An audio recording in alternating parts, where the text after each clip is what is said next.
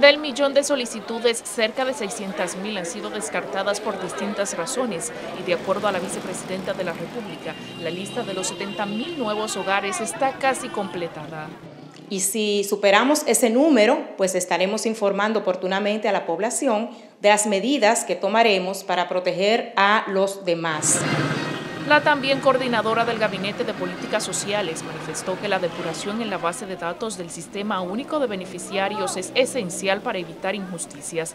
Precisó que han examinado las denuncias difundidas en medios de comunicación y que en algunos casos se ha tratado de personas en cuyo hogar ya hay un beneficiario o que pertenecen al programa FASE. Como el ejemplo de una señora en la Sursa que reclamaba ser parte de Quédate en casa, pero tiene un salario de 26.250 pesos reportado a la Tesorería de la Seguridad Social.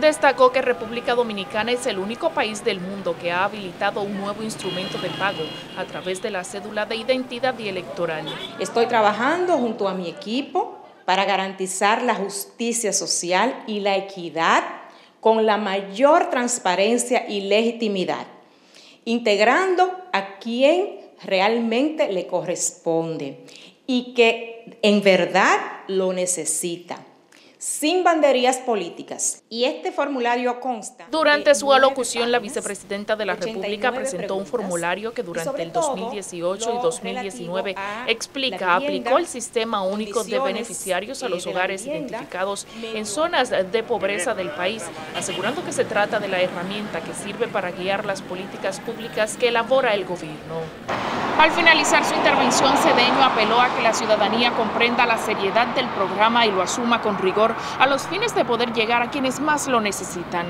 Sara Vallejo, Noticias SIN.